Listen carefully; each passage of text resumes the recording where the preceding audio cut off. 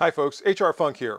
One of the more difficult things when it comes to presenting information in this medium is trying to balance the amount of data I can convey before the entire presentation starts to feel like a lecture from a math professor.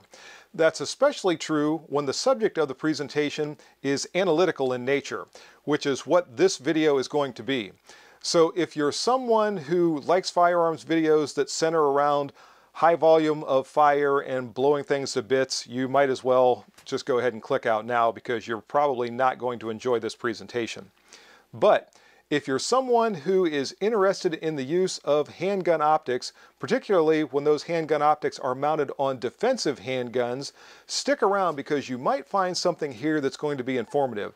Now this is probably going to be an instructor level video, so again, if that's just not your bag, you might want to click out.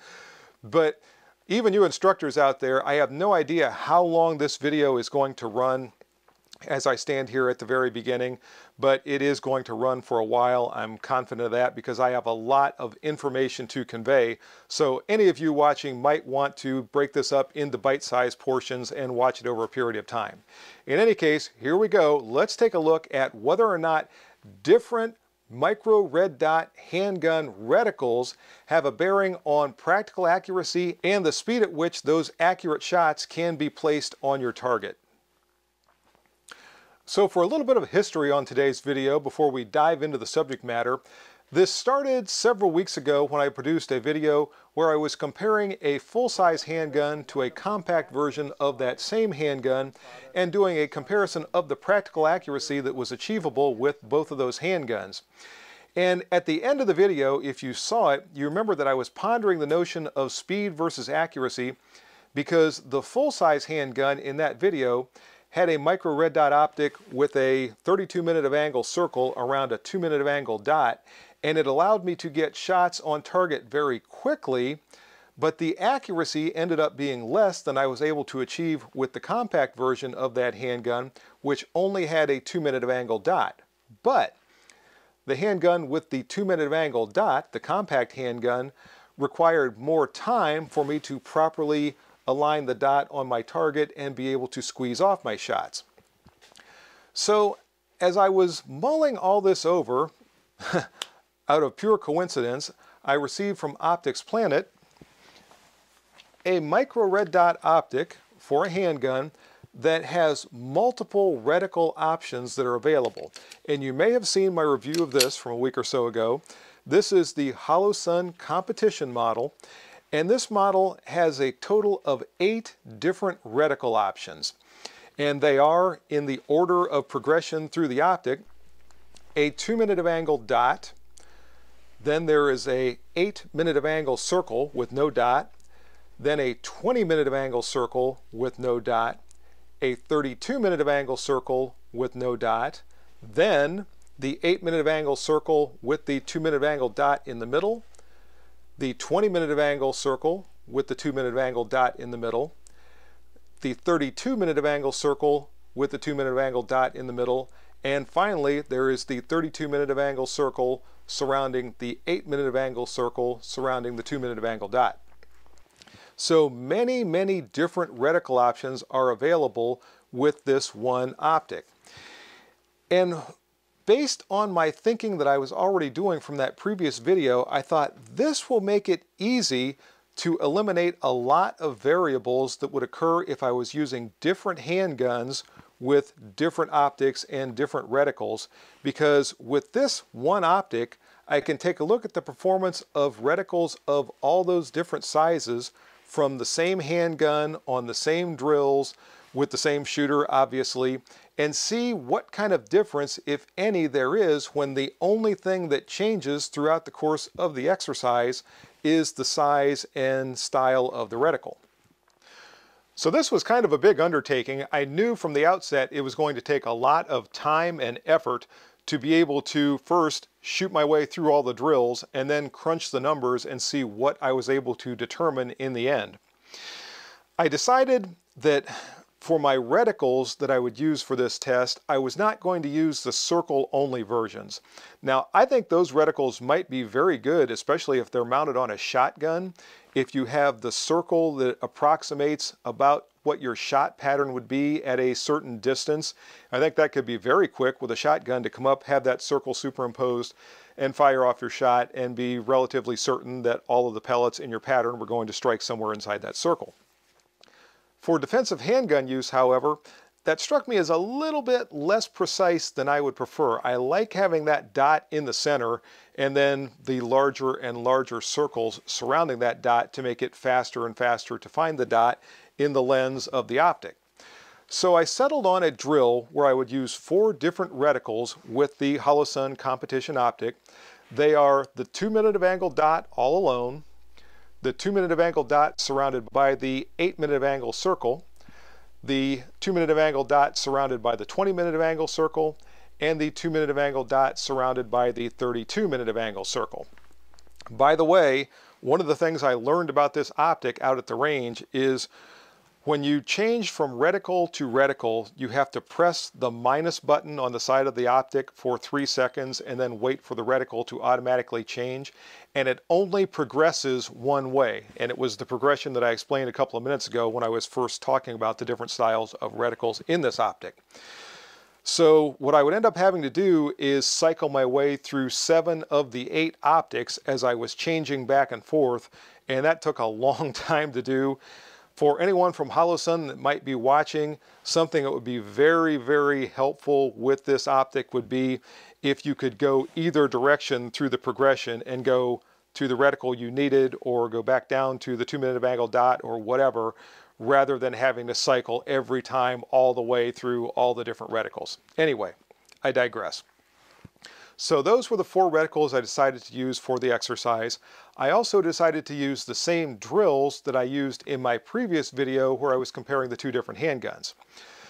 Three of the four drills take place from a distance of seven yards from the target and they are controlled pairs starting from ready position and I'm using my timer this time so my timer is my signal to fire on the signal to fire I come up and fire a controlled pair from seven yards into the center of the target the body of the target and I'll explain the scoring of the target here momentarily.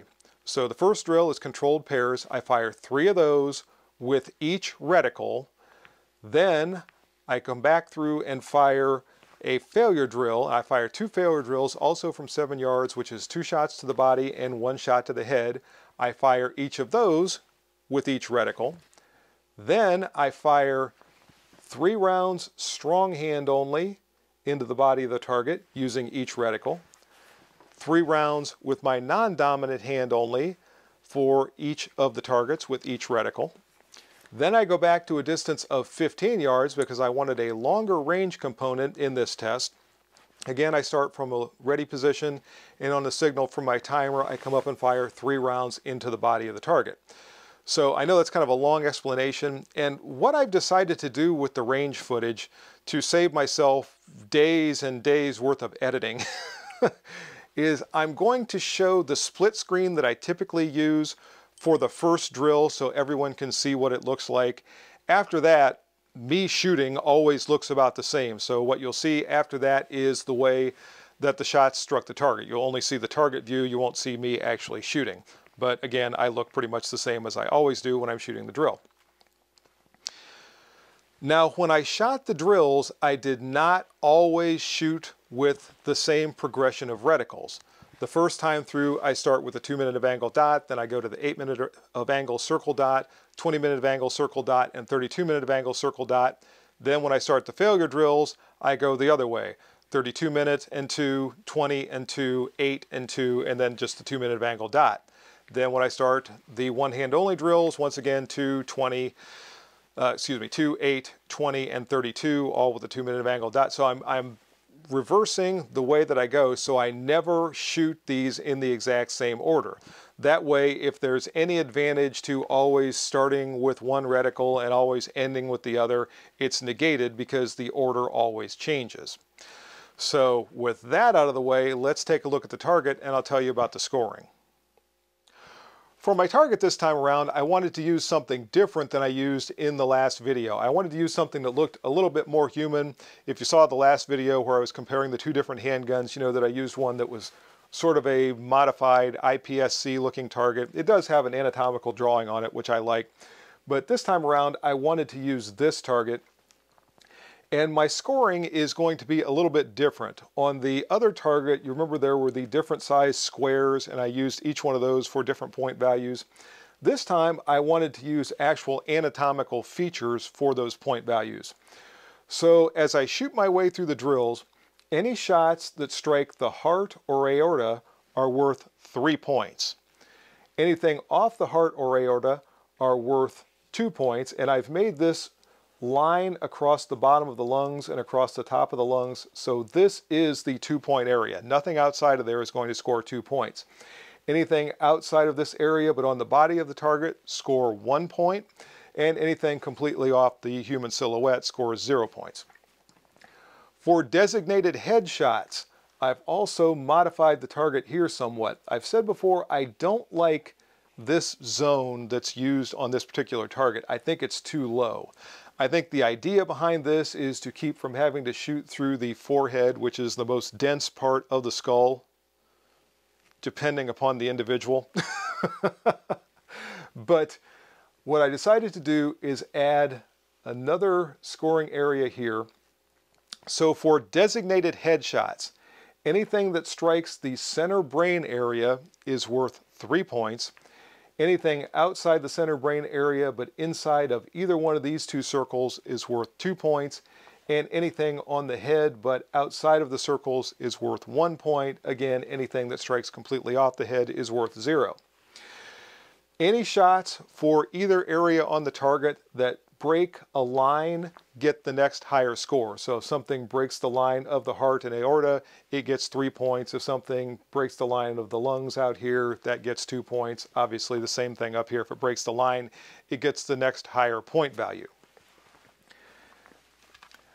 Another thing I decided to do to make this drill interesting was to use my Smith & Wesson M&P 40L. So this is chambered for the 40 Smith & Wesson cartridge, meaning it's going to have a little bit more recoil and a little bit more muzzle rise, which is going to require a little bit more time and a little bit more effort to get my sight picture after I fire a shot and come back on target. So I thought that would be interesting too, since we're looking at these reticles, we're looking at practical accuracy, and I'm figuring in the time component this time that will probably maximize the amount of movement that I'm going to get for each shot and require that much more effort to get back on and fire off my next shot. So hopefully that will help a little bit when it comes to trying to see whether or not I'm actually getting a benefit from the reticle or if I've just shot these drills so many times that I'm basically holding where I always hold and squeezing the trigger and the bullets are going where they always go. So I think that's everything that I need to tell you about to lay the groundwork for the drills. Now let's start to talk about the drills themselves. So as I mentioned, the first drill when I got out to the range yesterday, and by the way, we had a great day yesterday weather-wise. Yesterday was February 1st, and for whatever reason, it warmed up to about 40 degrees. We had some rain last week, all the snow melted off the range, and it actually dried up some, so I was not up to my ankles in mud while I was out there. So beautiful day for shooting these drills. And I went out, set everything up, and as I said, the first drills that I started to fire were my controlled pairs.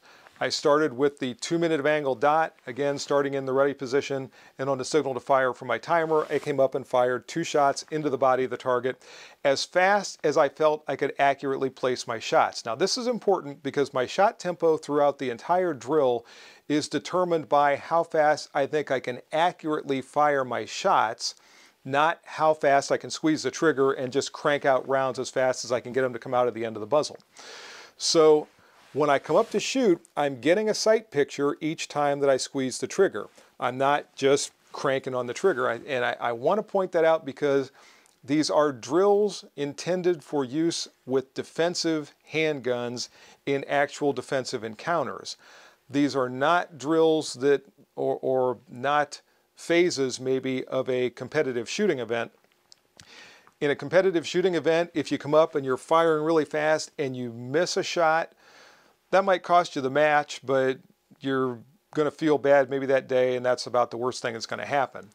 If you come up in a defensive shooting situation and you start cranking off rounds as fast as you can squeeze the trigger and you have a miss, that could cost you dearly. So we can never spray and pray when it comes to defensive encounters, and each time that I'm shooting, I'm at least getting a flash sight picture before I start my trigger press. I just want to emphasize that at this point in the video. So what you're about to see are the controlled pairs, and as I said, 2 minute of angle dot first, then 8 minute and 2 minute of angle dot, 20 minute of angle circle, 2 minute of angle dot, and 32 minute of angle circle and 2 minute of angle dot. The only time you're going to see me actually shooting is on the first one. After that, all you're going to see are the hits on the target. So here we go.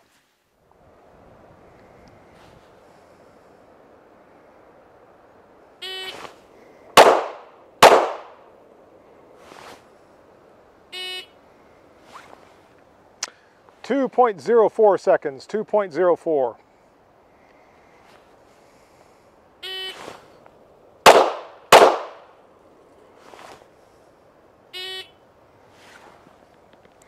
Two point one three seconds, two point one three.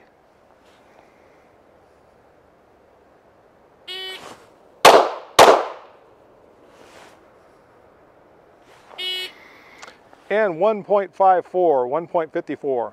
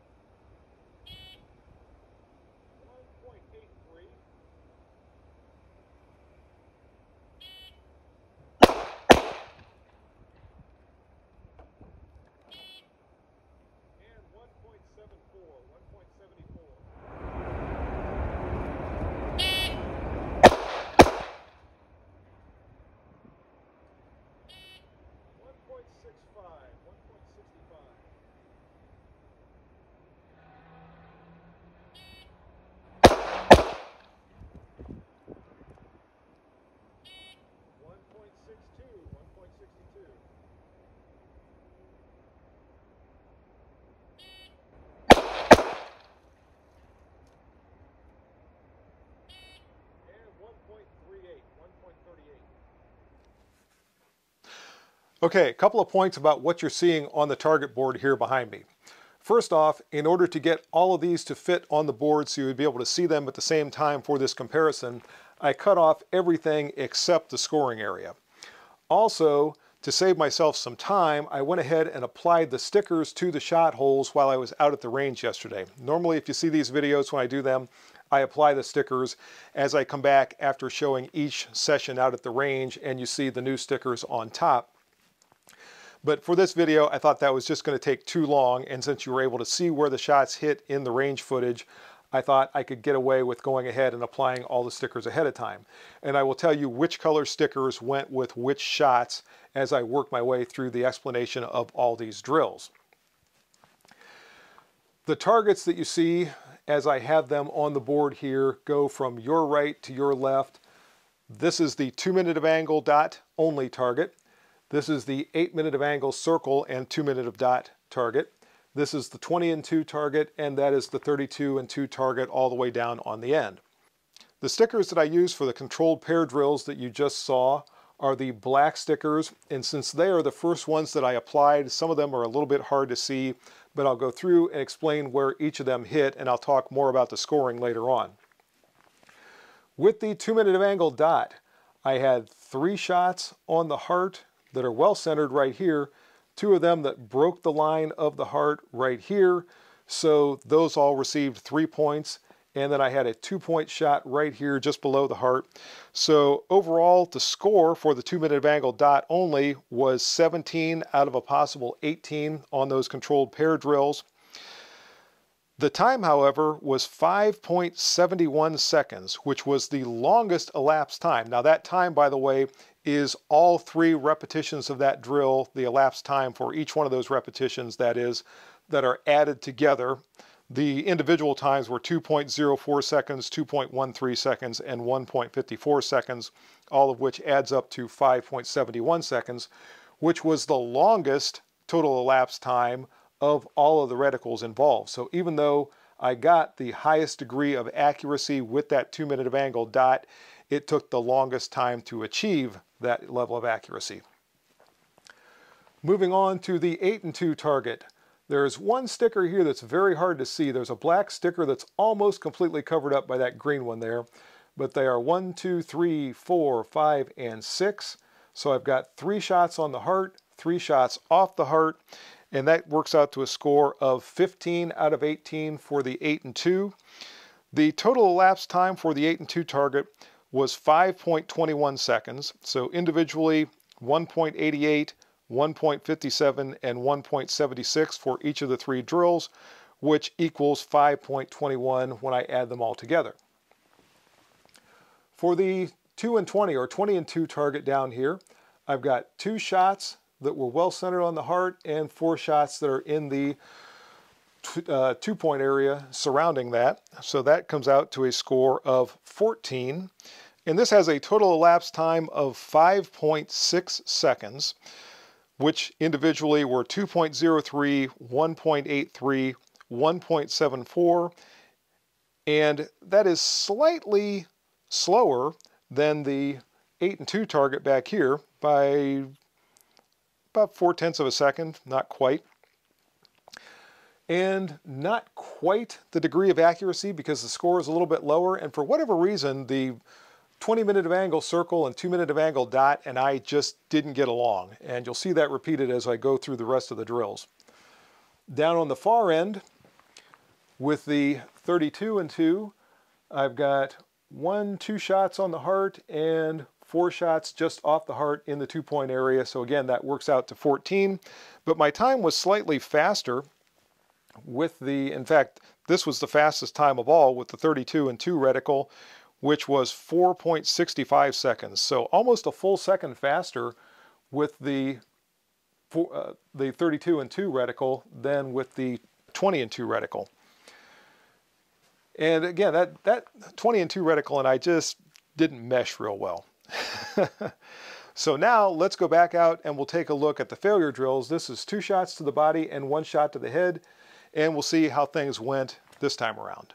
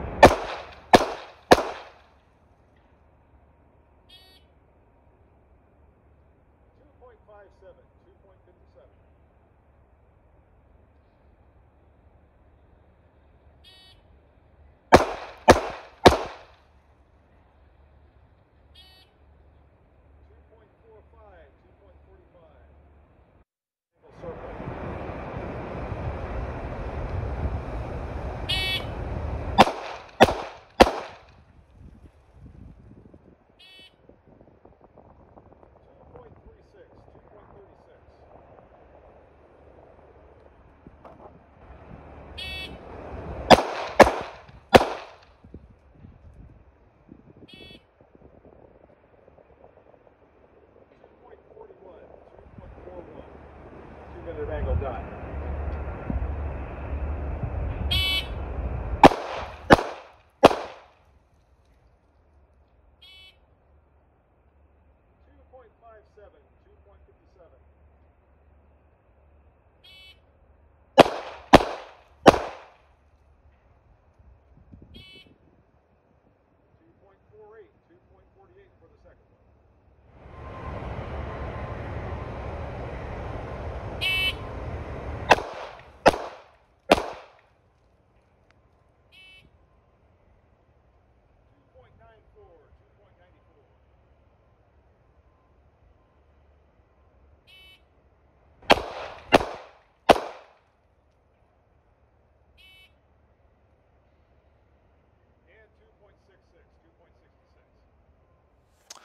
For the failure drills, as I said earlier in the video, I started this time with the 32 and 2 reticle and worked my way back through the targets all the way down to the 2 minute of angle dot only.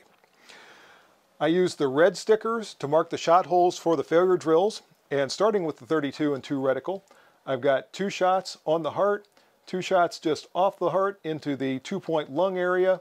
I've got one two-point shot to the head and I've got one three-point shot to the head all of which works out to a score of 15 out of 18 on this drill.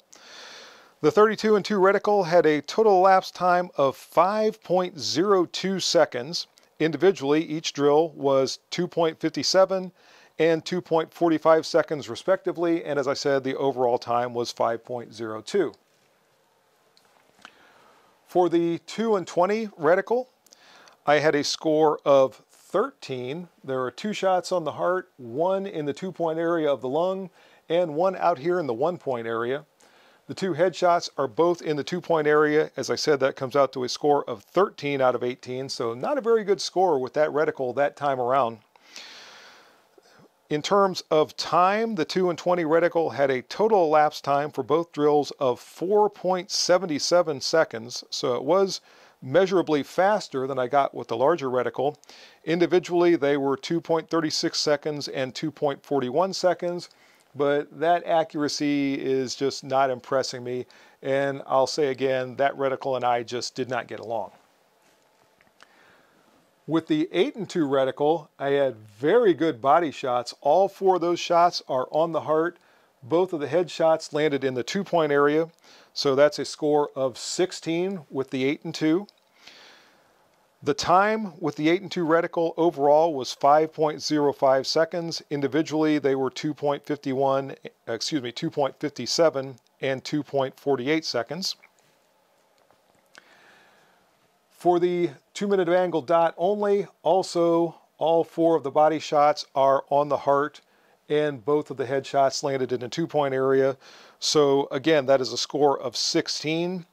The total elapsed time was 5.6 seconds, so about five and a half tenths of a second slower than I achieved that same score with the 8 and 2 reticle.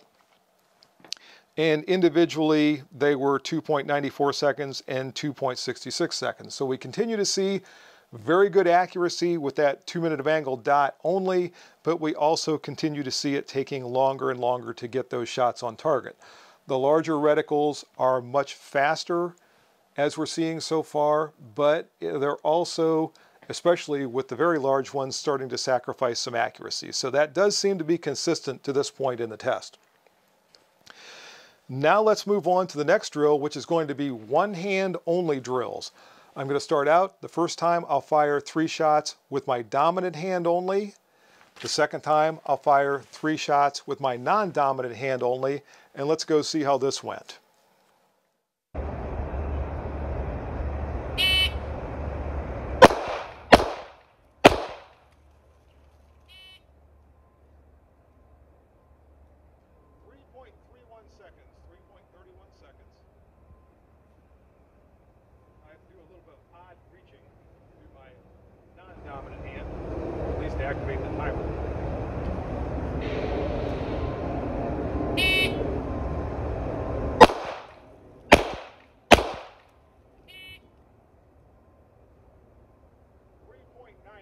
3.98 seconds with my non-dominant hand and the two minute of angle dot. Minute of angle circle.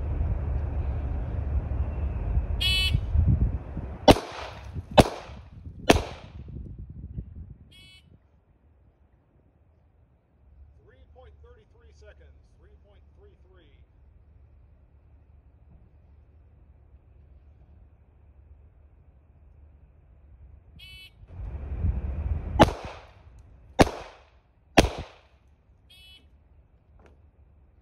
4.03 with my non-dominant hand only. Let's see what happens.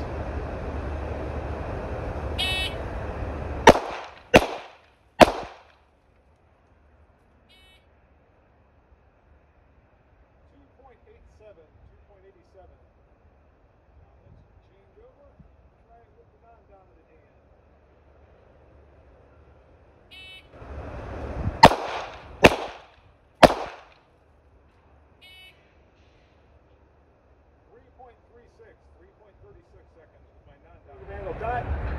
hand only.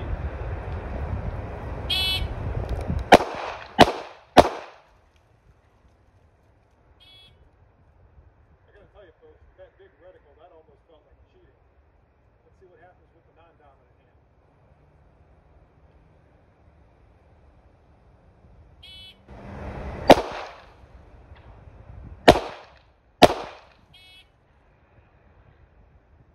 And 4.44 with the non-dominant hand. For the one hand only drills, I again kick things off with the two minute of angle dot and I mark these shot holes with the green stickers. And I've got two shots that are well placed on the heart. This one just broke the line of the aorta, so there are three three-point shots there. And I've got three two-point shots, which comes out to a score of 15. Time-wise, I had 3.31 seconds for my dominant hand and 3.98 seconds for my non-dominant hand, which comes out to a total elapsed time of 7.29 seconds. For the 8 and 2 reticle, I again have three shots on the heart and three shots in the two point area, which again comes out to a score of 15. In terms of time, my dominant hand required 3.33 seconds and my non-dominant hand required 4.03 seconds for a total elapsed time of 7.36 seconds. Now this time around, this was slightly slower than the two minute of angle only dot. But when you start using non-dominant hand only and the pistol is moving around some, it's probably going to skew that time just a little bit because sometimes things just don't line up right. Moving on to the 2 and 20 target, I've got four shots. This was one time that the 2 and 20 and I did get along. Four shots on the heart, two shots in the two point area for a score of 16 with the 2 and 20 reticle. In terms of time, I had 2.87 seconds required for my dominant hand and 3.36 seconds required for my non-dominant hand for a total elapsed time of 6.23 seconds. And lastly, all the way down here, this was one that just things went well with that 32 and 2 reticle. I've got five out of the six shots on the heart, one of them in the two point area, so 17 out of 18 on my one hand only drill with the 32 and 2 reticle. I fired the dominant hand only in 2.33 seconds, non-dominant hand in 4.44 seconds, and there was a noticeable delay. I, I, don't remember if it was the second or third shot with my non-dominant hand where I completely lost the reticle for an instant and had to reacquire it before I could start my trigger press, and that really slowed that down. Otherwise, that was a pretty good drill, and I'm pretty happy with the accuracy on that one. Last up is a drill where I move back to a distance of 15 yards and from 15 yards starting in the ready position on the signal to fire I came up and fired three rounds into the body of each target and here's what that looked like.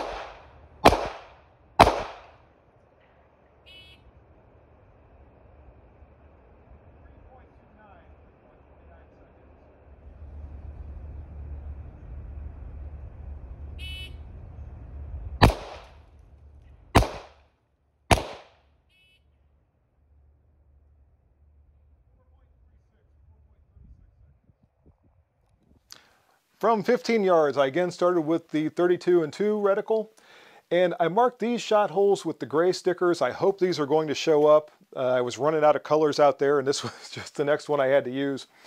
But from that distance of 15 yards, I have two shots on the heart, one in the two-point area, so I have a total of eight points for the 32 and 2 reticle on that drill with an elapsed time of 4.16 seconds. So 4.16 from 15 yards. With the 2 and 20 reticle, I've got one shot on the heart and two shots in the two-point scoring area. So I ended up with a score there of six points for the 2 and 20. For the 8 and 2, all three shots are down here in the two-point area, and I might have been rushing those shots a little bit. Coming off the two larger reticles, maybe I was trying to shoot a little bit too fast, and I pulled those shots a little bit low. So that comes out to a score of six points. And for the two minute of angle only dot, I've got two shots on the heart and one just off for a total of eight points. Time for the two minute of angle dot only was 4.36 and I don't know if I said it before so uh, 4.36 3.27 for the 8 and 2 3.29 for the 2 and 20 and 4.16 as I said for the 32 and 2. So now that's all the shooting, all the drills are done. Let's see if I learned anything through all of this. So in determining a winner for these four different types of reticles, I had to come up with a way to objectively compare the results of each with each other. And what I decided to do was use the overall score that I achieved with each reticle and then subtract from that the overall time used for each reticle. So I added all the times for all the drills together to come out with a total elapsed time, and then I subtracted that amount from that reticle's score. There was a total score for all of these 16 drills, or actually for all four drills, each reticle had a total possible score of 63 points. If I would have shot a three-point shot with each individual shot, there was a total of 63 points. Respectively, the two minute of angle dot only had a final score of 56 points. The 8 and 2 reticle had a total score of 52 points. The 20 and 2 reticle had a score of 50 points and the 32 and 2 had a total score of 54 points.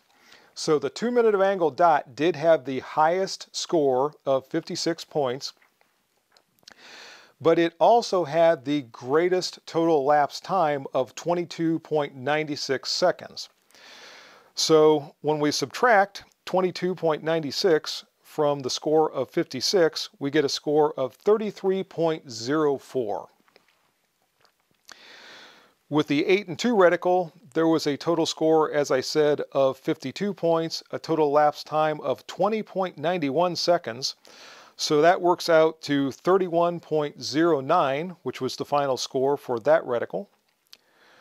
For the 20 and 2 reticle, there was a total score of 50 points. That was the lowest score of all four reticles, and I'm not sure why. I don't, I don't know why that one just didn't work well for me. And this could be a situation too where everyone is going to have to do some experimentation and figure out exactly what reticle is going to work best for you.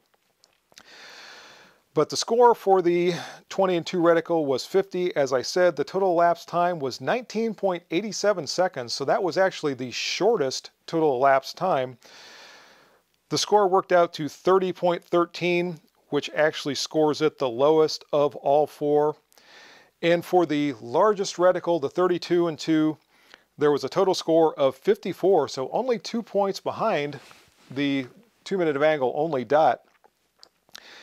With a total elapsed time of 20.6, which was the second fastest, and that gives it a score of 33.4, so it actually scored the highest of all four reticles. Now, here's what I'm getting from all of this. Basically, at seven yards and closer, we're looking at across the room type distances, or at least not greater than across the room distances. And then I added the final stage with the 15 yard shooting for the odd situation where someone might have to take a long range shot for whatever reason. And I would say in a civilian defensive situation, 15 yards would be a pretty long shot. And even so, on that 15 yard shot, I still had two of my three shots on the heart with that large reticle, and the third shot was an acceptable lung shot. Which was almost identical to the results. In fact, it was identical to the results that I got with the two minute of angle dot only, but it took longer to achieve this level of accuracy, which was the exact same thing that we saw all the way through. So what I'm drawing from all of this as a conclusion is that at what I'll call typical defensive distances, at across the room distances, if you will, the large reticle is really giving you the best combination of speed and accuracy. It's the fastest to allow very good levels of accuracy. And I think part of the reason is because I come up, I find it very quickly, I'm able to place it quickly on my target and start my trigger press, and the bullets just generally go where I want them to go. Now, I want to emphasize this is at relatively close distances. For you police officers out there, for you folks in the military who might have to concern yourself with longer range shooting, I think I'm going to repeat this at some longer distances and see how this changes, if at all, when we start looking at 15 yards and further, 25 yards, maybe 40 yards, something like that. The, the really longer range handgun shots.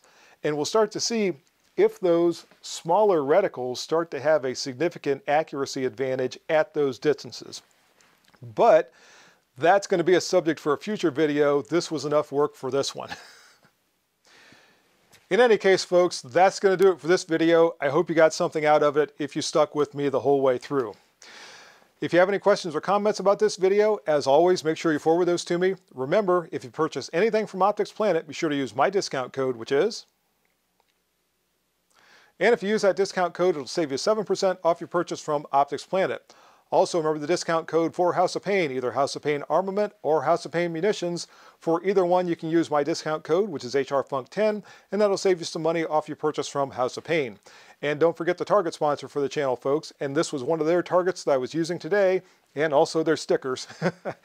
Go to Targets online, check out their inventory, and see if they have anything that's going to meet your target needs. See you next time, folks. And until then, Good shooting. Bye-bye.